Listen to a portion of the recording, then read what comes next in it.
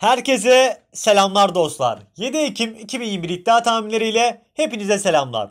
Dar bültende oturdum analizledim daha yeni bitirdim. Taze taze sıcak sıcak 7 tane mücadele seçtim sizlere. Bir tanesi Euroleague'den 6 tanesi ise normal futbol mücadeleleri. Asya ve Afrika'da Afrika kıtasında Dünya Kupası elemeleri var. Onlardan bahsedeceğim. Şimdi beyler bayanlar ee, çok güzel bir hafta sonu geçirmiştik son videolarımızda. İzleyenler mutlaka vardır. Çok güzel kazançlar elde ettik. Keza katıl grubunda da normal kombinelerde de gerçekten çok güzel bir başarı elde ettik. Mesajlarınızdan dolayı çok teşekkür ediyorum öncelikle. Şimdi e, öncelikle videoya bir like atar mıyız? Şöyle ekrana gelsin 300-500 seviyelerinde bir like gelirse yine aynı şekilde. Kombin önerisi ben yarına diğer iki güne de 8 ve 9 Ekim'e de Aynı şekilde tek video yapacağım. Kombin önerisi yapacağım. Fakat sizden isteğim 300, 400, 500 seviyelerinde like'tır. Başka bir isteğim yoktur. Şimdi bugünlerde isterseniz direkt başlayalım. Ben analizlerimi çıkardım. Güzel bir şekilde devam edeceğim. Şimdi Güney Kore ile Suriye mücadelesiyle başlayalım isterseniz direkt. Şimdi Güney Kore arkadaşlar kendi evinde mücadele edecek ki bence kalite anlamında Suriye takımından çok fazla üstün seviyede. Güney Kore Dünya Kupası elemelerinde ilk iki maçı kendi evinde oynadı. Üçüncü maçı da aynı şekilde kendi evinde oynayacak. Suriye'nin ise bir puanı var. Bir beraberle bir mağlubiyeti var. Ya Suriye'ye baktığımız zaman da deplasmanda İran'a yenildi. Kendi evinde ma- e, berabere kaldı. Şimdi Güney Kore'nin kadrosunu göstermek istiyorum. Bakın. Güney Kore'de kaliteli isimler var. Fakat bazı kaliteli isimler belki olmayabilir. Nasıl kaliteli isimler olmayabilir? Högminson mesela burada olmayabilir. Zaten son iki mücadelesinde yok. Ama mesela Hichen var. Kuyusung var. Aynı şekilde de Kuyung var. Bunlara ben baktım ve özellikle defans hattında Kim Min var bakın. Şöyle göstereyim. Duvar lakaplı Fenerbahçe'nin gerçekten çok çok iyi bir defans olduğunu düşünüyorum. Burada Güney Kore tarafında zaten gideceğiz. Çünkü Güney Kore Dünya Kupası'na gitmek istiyorsa burada zaten kendi evinde Suriye gibi bir takıma da kaybetmek istemeyecektir. Suriye de bizim ikinci vatanımız olarak diyebilirim. Buradan da siyasilere selam olsun. Güney Kore bu maçı kazanır fakat nasıl kazanır arkadaşlar bakın. Maç sonu 1 ve 1.5 üstüne 1.47 yapmışlar. Yani ne kadar çok fark ediyor sizler de görüyorsunuz. Keza 4.5 altına yapmak istesen 1.30 gibi oranı var. Ben bunu 3.5 alt yapsam da 1.53 gibi oran var. Beklentim 2-0'lık veya 1-0'lık ya alt olur bu mücadele. Maksimum 3-0 olur. Güney Kore kazanır. Ben sizlere burada maç sonu bir 4.5 altını daha ideal olsun diye öneriyorum burada. 3 tane maçı birleştirirsin yakalarsın. Maç sonu bir 4.5 altı öneririm. İsteyenler de maç sonu 1 ve 3.5 altını da daha yüksek bir ideal orandan değerlendirebilirler. Fakat ben Güney Kore'nin burada Suriye'ye karşı kazanmasını bekliyorum. Değerlendirmek isteyenler bu yönde değerlendirme yapabilirler. Nijerya ile Orta Afrika mücadelesi yine aynı şekilde grupta lider konumda olan Nijerya kendi evinde mücadele edecek. Kadrosuna baktığım zaman Nijerya'nın arkadaşlar öncelikle Nijerya'nın teknik direktörü bir değişmişti. Bu gelen teknik direktör ismini okuyayım notlarımda yazıyor şurada. Gerard Roth diye bir adam gelmiş. Şimdi bu adam ne yapmış ondan bahsedelim. İlk iki maçını zaten kazanmış fakat ilk iki maçına pandemiden dolayı 12 tane oyuncu dahil edememiş. Bu 12 oyuncu önemli isimlerden oluşuyor. O 12 oyuncuyu kadroya bu sefer almış arkadaşlar. Yani kadro daha kaliteli bir Nijerya kadrosu. Burada izleyeceğiz ki zaten oranı da 1-0-6.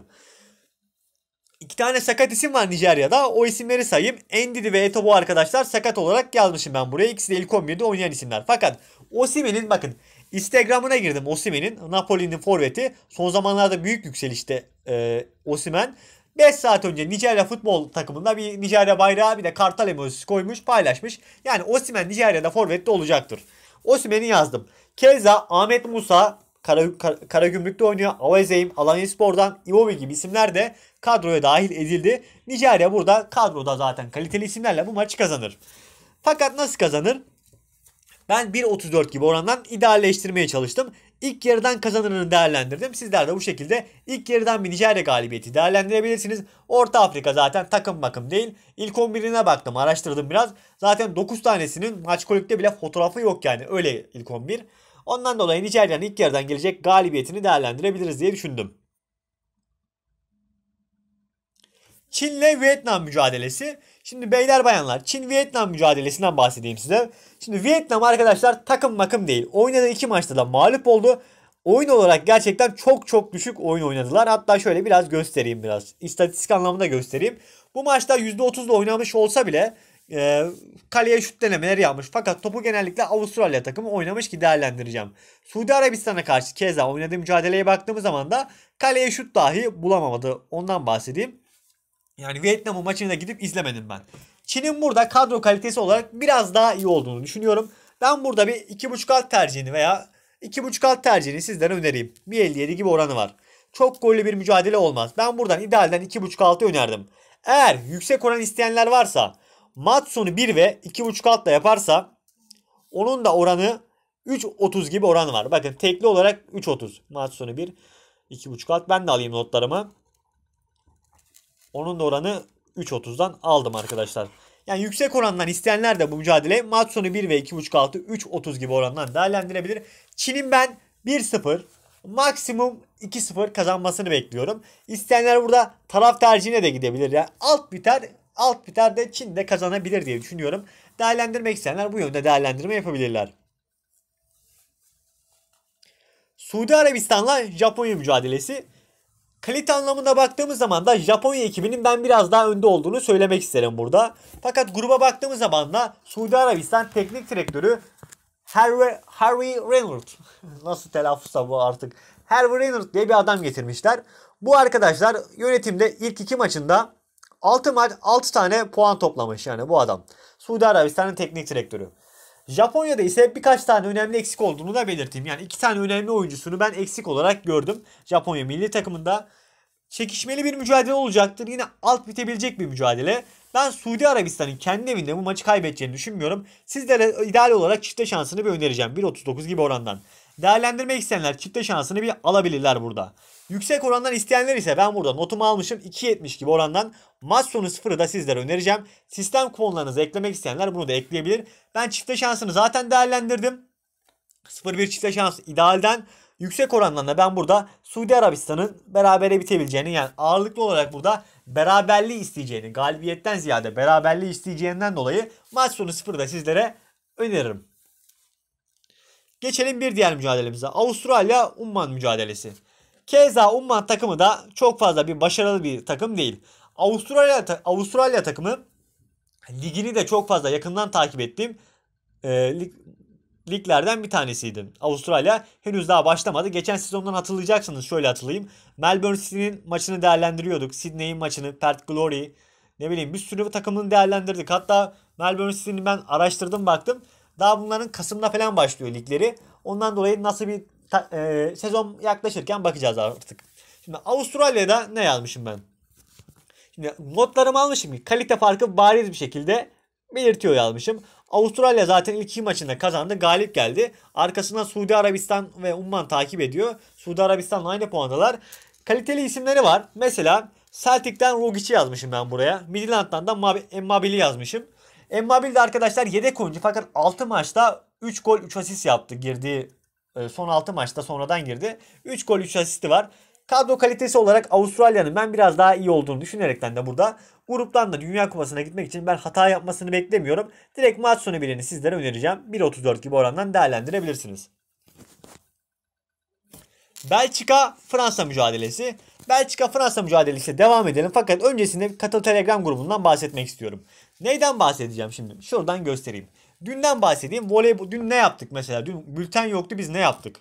Bakın bu Çağrı arkadaşımızın verdiği kombine. Trelleborg mücadelesine toplam gol 1.5 üst. Barcelona Zaragoza mücadelesine de basketbolda bu. Barça Zaragoza takımı 17 fark yemez dedi. 2-12 gibi orandan kazandım. Keza benim verdiğim tek kombine arkadaşlar. Tofaş mücadelesiyle Asfel'in ben mücadelesini değerlendirdim. Tofaş'a ben zaten güveniyordum. 1.46'dan önerdim ki zaten maç 175 tane sayı oldu. Asvel mücadelesinde dedim ki 3 5 farkla kazanır dedim. Ki zaten 20 fark mı ne attı öyle kazandı. 2 oranlı kombinen buydu. 100 attık 200 aldık işte gruptaki arkadaşlarla birlikte. Değerlendirenlere öncelikle tebrikler. Onun dışında voleybol mücadelesi vardı keza. Ya yani sadece futbol olmasına gerek yok bizim. Burada maç olsun yeter. İzliyoruz, takip ediyoruz. Vakıfbank'la Eczacıbaşı vardı. Mesela ilk periyot ilk setine ben dedim 43.5 üst dedim. Bir 47 gibi orandan önerdim. Başarılı oldu. İkinci setine de dedim ki 44.5 üst dedim. Fakat burada bir sayıyla gitti. 44 sayıda kaldı. Mesela bu başarısız oldu. Onu da belirteyim. Onun dışında Ostende mücadelesine yine aynı şekilde alt tercihini sundum. 183.5 alt dedim canlıdan 1.40 gibi orandan. Başarılı oldu. Günün kombinesi geldi onun dışında. Ee, bu geldi bu geldi derken günün kombinesi de bu şekilde başarılı bir şekilde geldi. Onun dışında arkadaşlar saat 13 kombinesi vardı. Çağrı arkadaşımızın verdi. 2.52 gibi orandan da önermiş. önermiş. Urava'nın ilk golünü ve Van Ruken'in de ilk golünü önermiş. 2.52'den orandan değerlendirmiş. Ki arkadaşlarımız burada değerlendirmiş. Hatta şöyle göstereyim. Von von von gelmiş şeklinde göstereyim sizlere. Eğer sizler de katıl grubuna gelip faydalanmak istiyorsanız arkadaşlar Abone ol şunun yanında katıl var. Katılı göremeyen iOS kullanıcılar ise bilgisayar üzerinden buna ulaşabilirler. 30 TL'ye ana Telegram grubumuza gelebilirler. 60 TL'lik gruba ise hem ana Telegram grubumuza hem de yüksek oranların verildiği gruba gelebilirler. Orada çok güzel başarı sağladık. Ya yarının videosunda göstereceğim. Her şey dahil iletişim seviyesinde her iki gruba da dahil olup sohbet grubuna dahil. Ekstra da benim iletişim WhatsApp numaram var. Orada da yüklü oynayacaklar. Bana zaten mesaj ataraktan da ben yönlendirmesini yapıyorum diyerek geçelim. Belçika ile Fransa mücadelesi. Fransa teknik öncelikle stat arkadaşlar İtalya'da oynanacak bu mücadele. Torino'nun sahasında oynanacak. Torino'nun Torino kentinde oynanacak diye yazmışım ben. Fransa teknik direktörü Deschamps şöyle demiş arkadaşlar. Var gücümüzle saldıracağız ve kupayı istediklerini belirtmiş. Keza Belçika'da istiyordur zaten de Fransa'nın teknik direktörünün böyle bir açıklaması var. Ondan dolayı Fransa'yı ben bir adım olarak önde görüyorum açıkçası. Fakat ben şöyle de bir mücadele bekliyorum. Yani her iki takım da denk takımlar. Batshuayi kadroya dahil edilmiş. Benteke alınmamış mesela. Onun dışında birçok ideal futbolcular kadroya dahil edilmiş. Fakat bunların Dünya Kupası eleme maçı olduğu için bunlar da tek ayakta maçlar olduğu için biraz bu mücadele temkinli geçecek diye düşünüyorum ben. Temkinli geçeceği için ben ilk yarıdan gelmeyecek 2 gol bekliyorum. Onun oranını açmamışlar 1.24. Yüksek orandan isteyenler için de şöyle bir öneri yapacağım. Toplam gol sayısı 2-3 golde kalabilir diye düşünüyorum ben. Onun da oranı 1.68 gibi orandan değerlendirmek isteyenler bunu da 2-3 gol bandında kalabilecek bir mücadele olarak görüyorum. Ama Fransa bir adım önde bence. Tarafsız sahada oynanacak ama 2-3 gol bence en ideal tercihtir. Çok fazla gol olmayacaktır. 2 golde kalır diye düşünüyorum ben. Değerlendirmek isteyenler değerlendirebilirler. O şekilde değerlendirelim biz. Panathinaikos'la Fenerbahçe Beko'nun Euroleague mücadelesi var yarın. Yine bu maça da dendim. Yakından takip ediyorum artık arkadaşlar. Fenerbahçe son maçında yenildi. Şöyle göstereyim. Son pardon. Aynen. Ben Kızıl Yıldız mücadelesini izledim. Yendi o mücadeleyi. 61-57 yendi. Maç altta kaldı. Arkadaşlar Fenerbahçe hazır bir görüntü gerçekten çizmedi Euroleague mücadelesinde. Şimdi şundan bahsedeyim. Hatta spiker de hatta sürekli şöyle söylüyor. Haydi Dekolo sahneye gir Dekolo. Yıldız oyuncusun. Dekolo'nun sahneye girmesi lazım. Dekolo'nun artık bir şeyler yapması lazım. Şeklinde birçok şeyle konuştu. Fakat çok fazla sayı çıkmadı arkadaşlar Fenerbahçe maçında. Keza Kızıl Yıldız da atmadı. Şimdi Panathinaikos'a baktığımız zaman da onlar da hem Euroleague'de hem de kendi liginde AEK'ya yenildiler. Kendi Euroleague'de de aynı şekilde Olympiakos'a Monaco, Monaco takımına mağlup oldular. 63 sayı atabildiler. Onlar da çok fazla varlık gösteremedi. Fenerbahçe de çok fazla hazır gözükmedi açıkçası. Ben Fenerbahçe'nin teknik direktörünün Djorkovic miydi? Bir tane adam geldi şimdi. Ağırlıklı olarak savunmaya önem verdiğini okudum arkadaşlar. O yönde haberler okudum. Ondan dolayı ben çok fazla sayı çıkmasını beklemiyorum. Bu mücadelede 156.5 6 1.54 gibi orandan sizlere önereceğim. Değerlendirmek isteyenler bu yönde değerlendirme yapabilirler arkadaşlar. Yüksek orandan isteyenler ise 149.5 altına 1.92 gibi orandan da tekli atabilirler. Fakat ideali burada 156.5 sayının altıdır. Değerlendirmek isteyenler değerlendirebilirler. Bir kombin önerisi olmayacak. Videoda tüm maçları anlattım. Katıl grubunda yapacağım kombin önerisini. Güzel seviyelerde like gelirse yine aynı şekilde ben sizlere e, diğer günlerin videosunda kombin önerisi yapacağım. Allah'a emanetsiniz. Görüşmek üzere. Maçların bu şekilde hepsi gelebilir, hepsi yatabilir. Fakat altında hepsinin birer birer emekli var, analiz var. Hatta şu anda defterimi kapattım. Görüşmek üzere. Bay bay arkadaşlar.